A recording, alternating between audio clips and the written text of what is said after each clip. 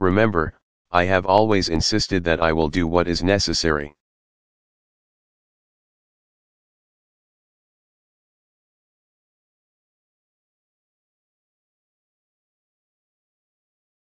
To prevent Iran from acquiring a nuclear weapon, and I will.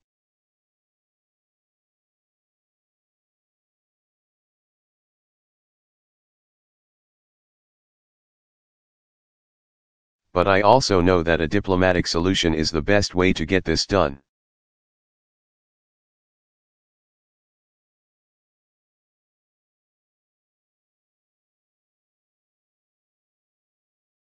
And offers a more comprehensive and lasting solution. It is our best option.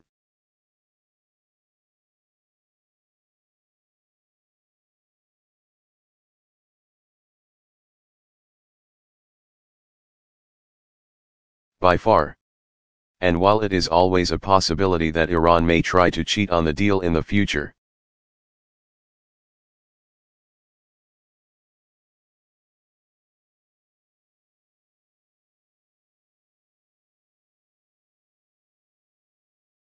This framework of inspections and transparency makes it far more likely that we'll know about it if they try to cheat and I.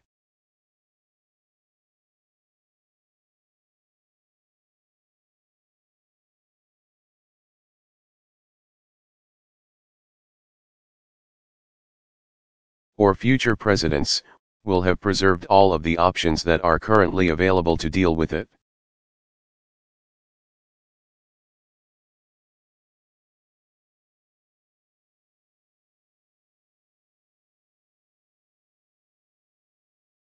To the Iranian people, I want to reaffirm what I've said since the beginning of my presidency.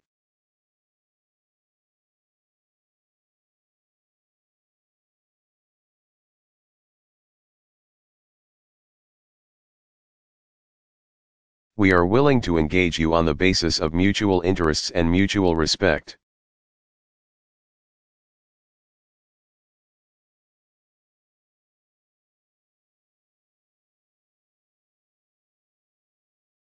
This deal offers the prospect of relief from sanctions that,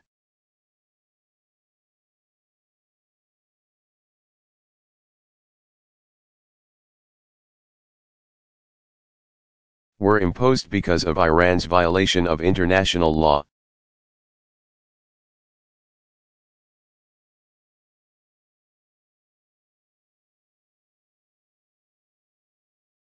Since Iran's supreme leader has issued a fatwa against the development of nuclear weapons.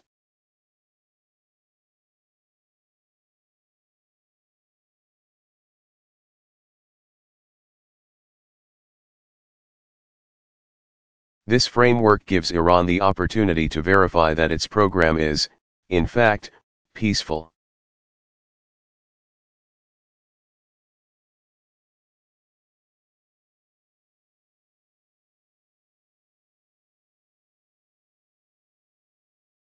It demonstrates that if Iran complies with its international obligations, then it can fully rejoin the community of nations.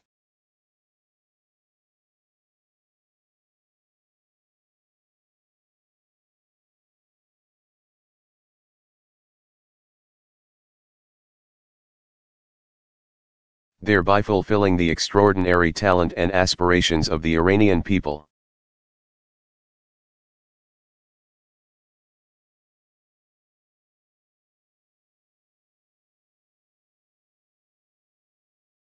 That would be good for Iran, and it would be good for the world.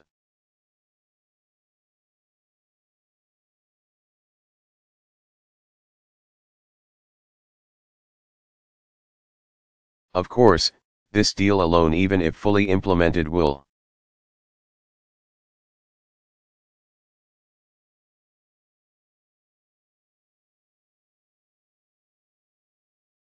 not end the deep divisions and mistrust between our two countries.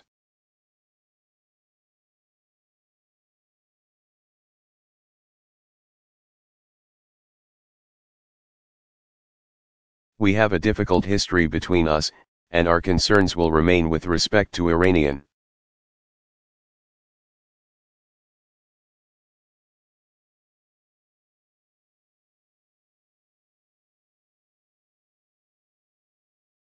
behavior so long as Iran continues its sponsorship of terrorism, its support for proxies who destabilize the Middle East.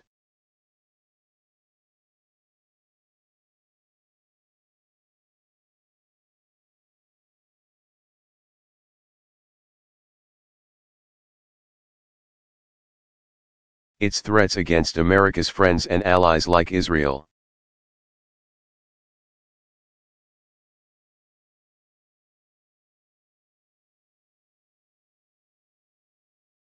So make no mistake, we will remain vigilant in countering those actions and standing with our allies.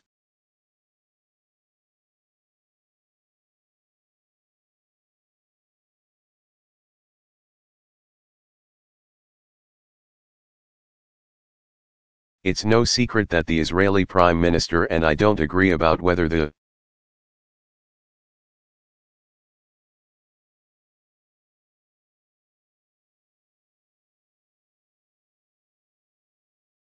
United States should move forward with a peaceful resolution to the Iranian issue.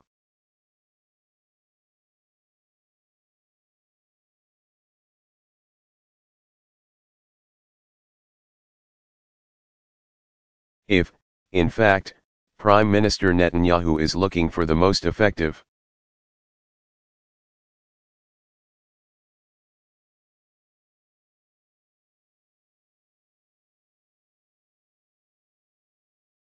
way to ensure Iran doesn't get a nuclear weapon, this is the best option.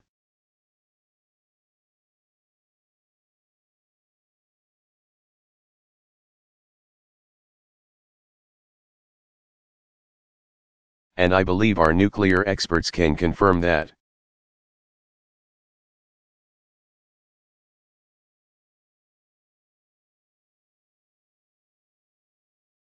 More importantly, I will be speaking with the Prime Minister today to make clear that there will be no daylight.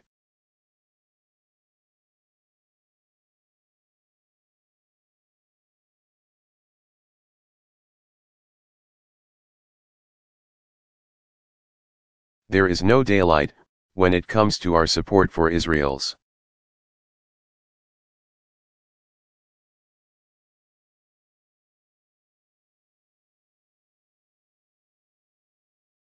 Security and our concerns about Iran's destabilizing policies and threats toward Israel.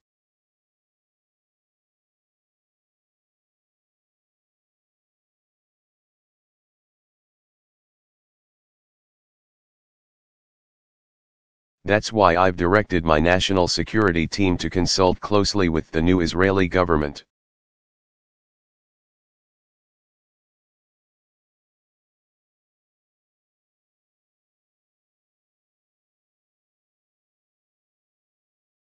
in the coming weeks and months about how we can further strengthen our long-term security cooperation with Israel.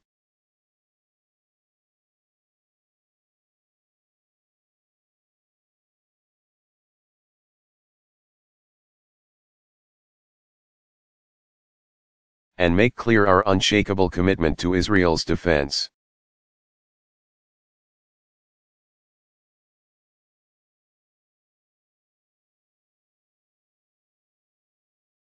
Today, I also spoke with the King of Saudi Arabia to reaffirm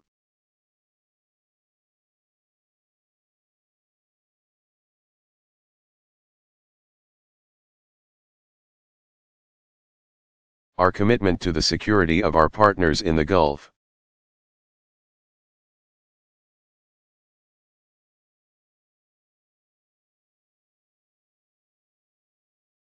And I'm inviting the leaders of the six countries who make up the Gulf Cooperation Council Saudi Arabia.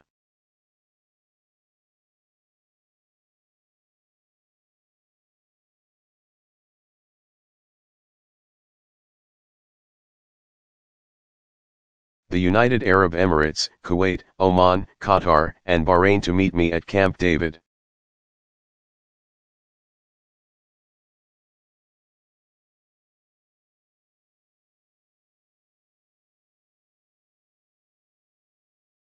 This spring to discuss how we can further strengthen our security cooperation.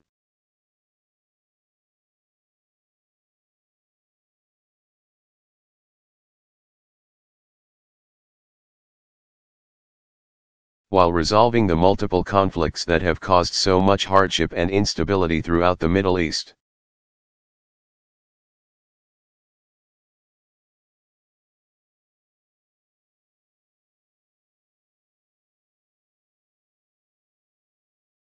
Finally, it's worth remembering that Congress has, on a bipartisan basis,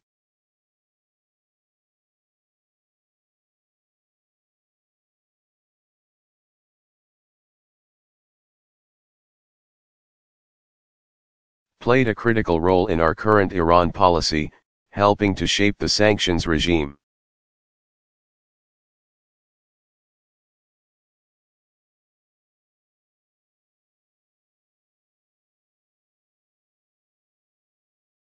that applied so much pressure on Iran and ultimately forced them to the table.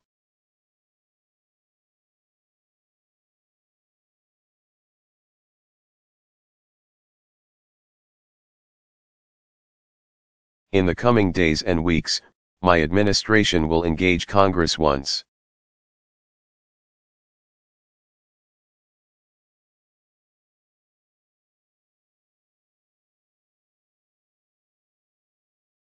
again about how we can play how it can play a constructive oversight role.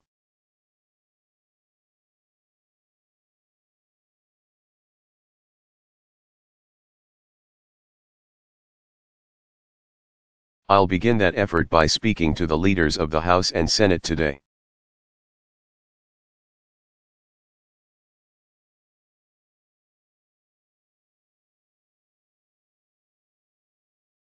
In those conversations, I will underscore that the issues at stake here are bigger than politics.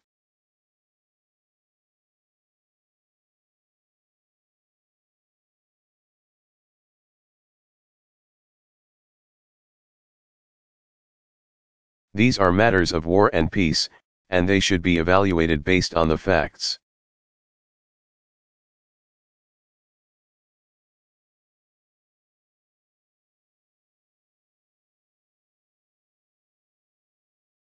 and what is ultimately best for the American people and for our national security. 4.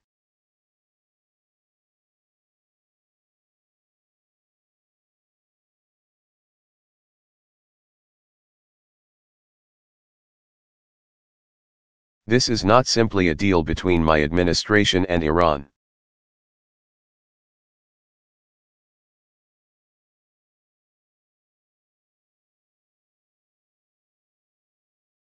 This is a deal between Iran, the United States of America.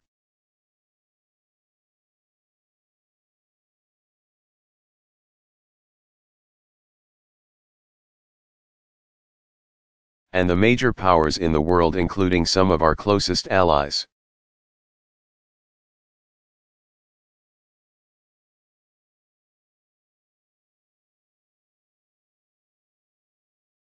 if Congress kills this deal not based on expert analysis.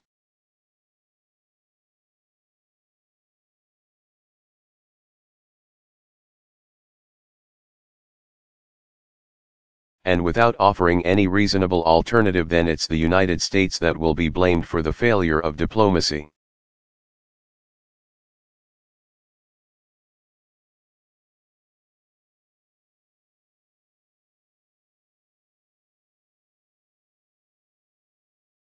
international unity will collapse, and the path to conflict will widen.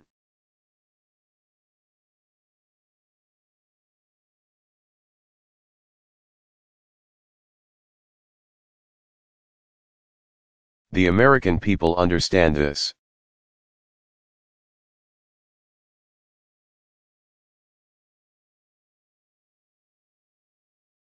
which is why solid majorities support a diplomatic resolution to the Iranian nuclear issue.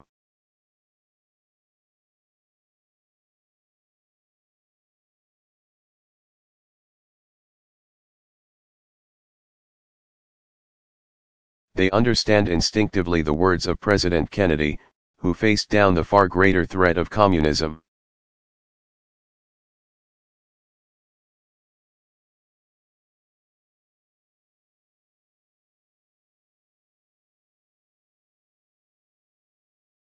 and said, let us never negotiate out of fear, but let us never fear to negotiate.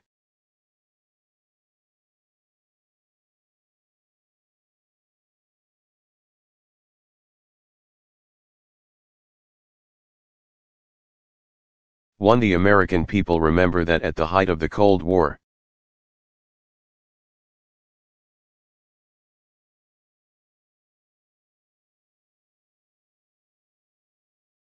Presidents like Nixon and Reagan struck historic arms control agreements with the Soviet Union.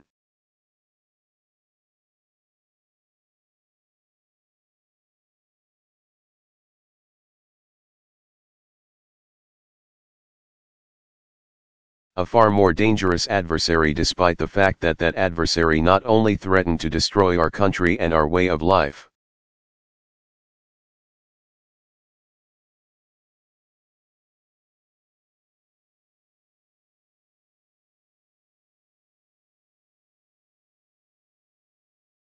but had the means to do so. Those agreements were not perfect. They did.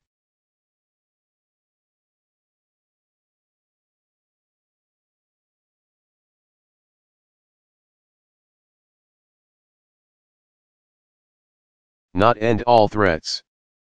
But they made our world safer. A good deal with Iran will do the same.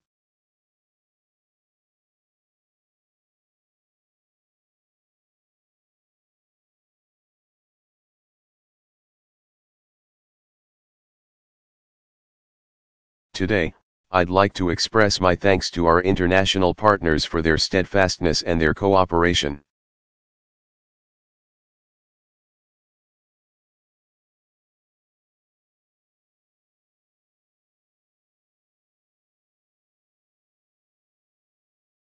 I was able to speak earlier today with our close allies, Prime Minister Cameron and President Hollande and Chancellor Merkel.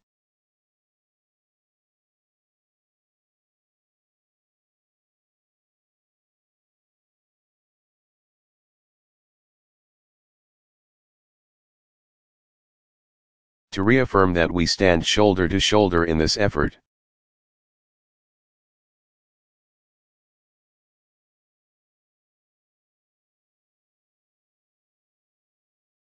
And most of all, on behalf of our nation, I want to express my thanks to our tireless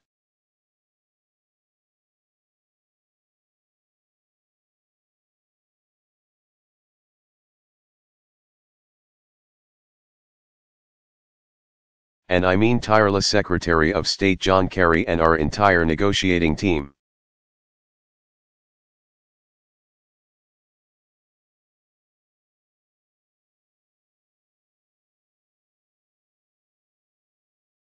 They have worked so hard to make this progress.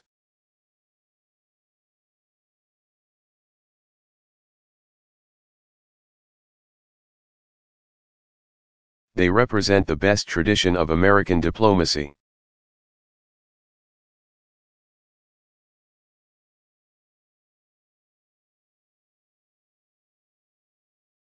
Their work our work is not yet done and success is not guaranteed.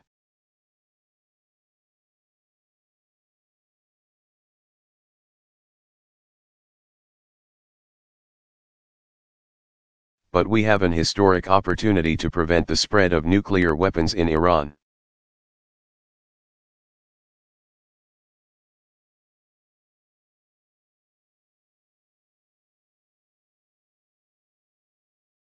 And to do so peacefully, with the international community firmly behind us. We should seize that chance.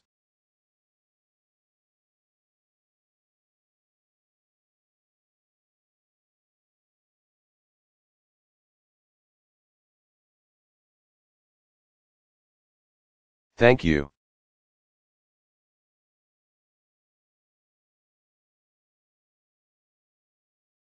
God bless you. God bless the United States of America.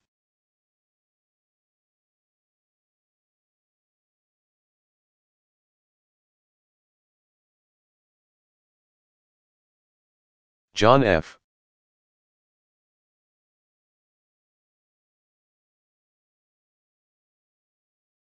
Kennedy used this antimetabole in both his inaugural and first.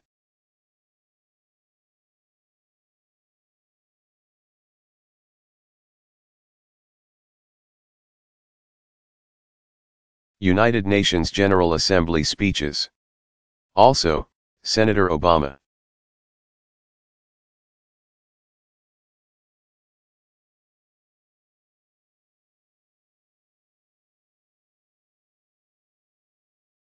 Used this line as a candidate for president in his address at the Wilson Center.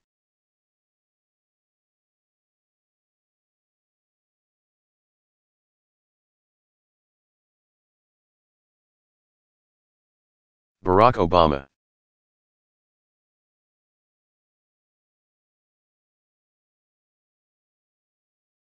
First update on authorizing targeted airstrikes and humanitarian aid in Iraq.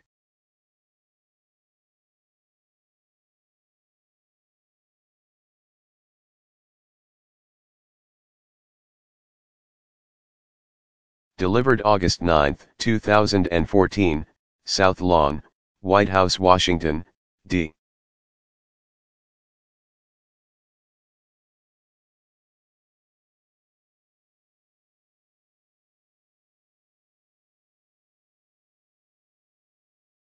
C.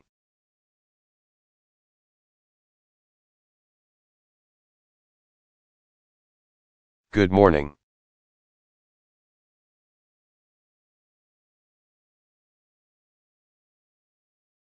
Over the past two days, American pilots and crews have served with courage and skill in the skies over Iraq.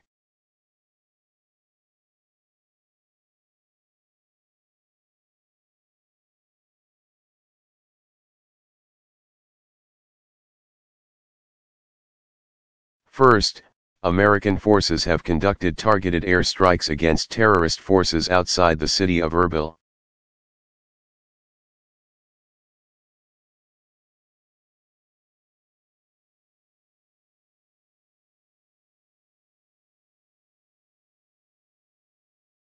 To prevent them from advancing on the city and to protect our American diplomats and military personnel.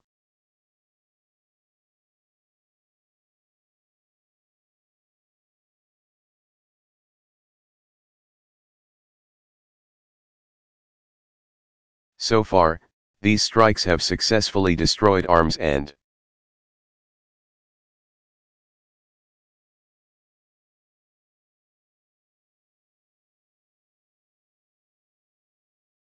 Equipment that ISIL terrorists could have used against Erbil.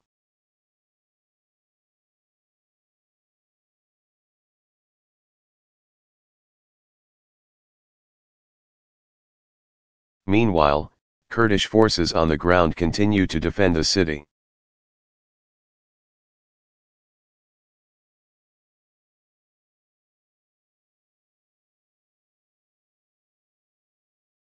And the United States and the Iraqi government have stepped up our military assistance to Kurdish forces as they wage their fight.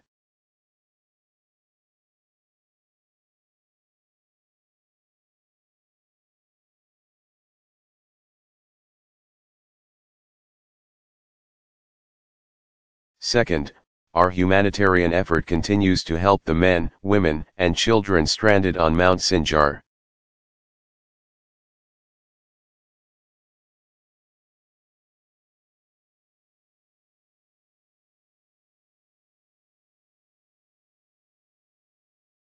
One American forces have so far conducted two successful airdrops delivering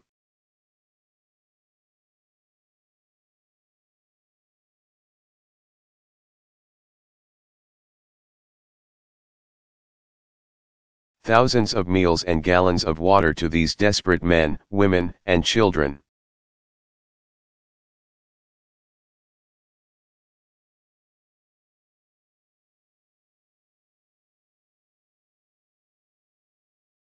And American aircraft are positioned to strike ISIL terrorists around the mountain.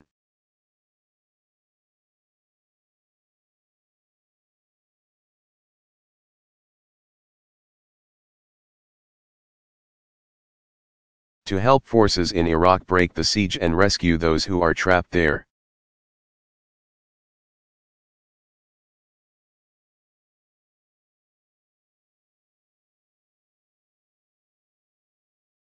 Now, even as we deal with these immediate situations, we continue to pursue a broader strategy in Iraq.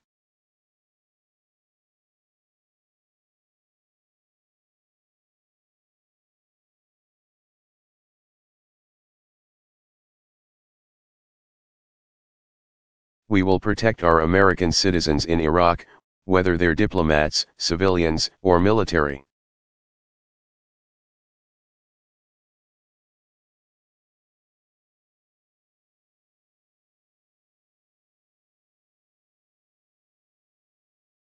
If these terrorists threaten our facilities or our personnel, we will take action to protect our people.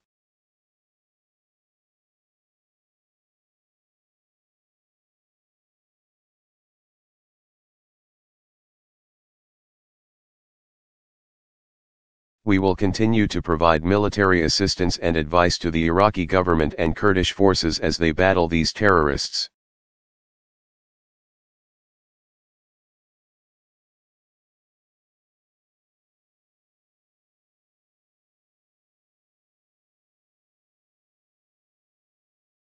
So that the terrorists cannot establish a permanent safe haven.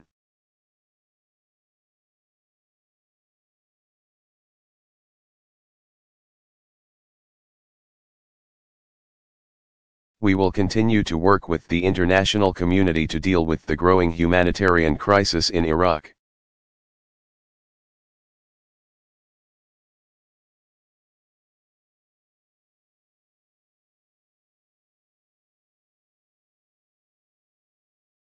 Even as our attention is focused on preventing an act of genocide and helping the men and women and children on the mountain.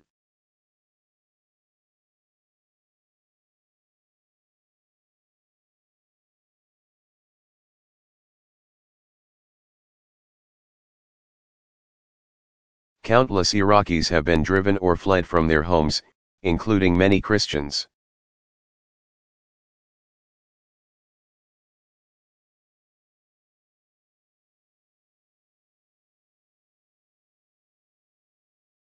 This morning, I spoke with Prime Minister Cameron of the United Kingdom and President Hollande of France.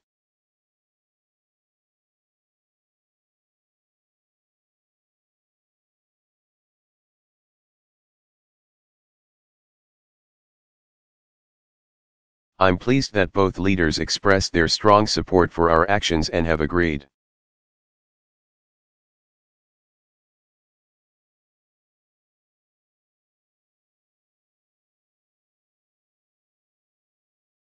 To join us in providing humanitarian assistance to Iraqi civilians who are suffering so much.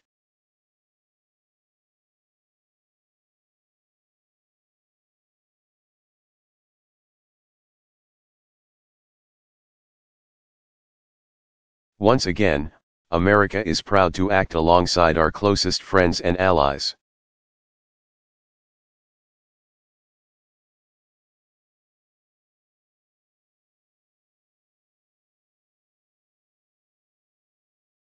More broadly, the United Nations in Iraq is working urgently to help.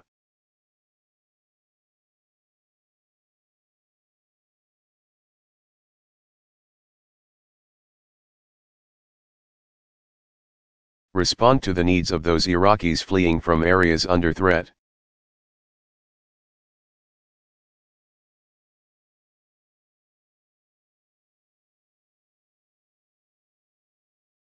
The UN Security Council has called on the international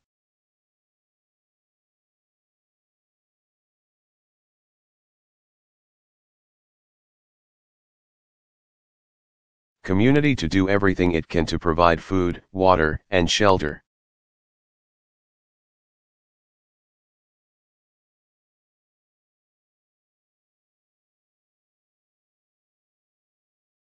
And in my calls with allies and partners around the world.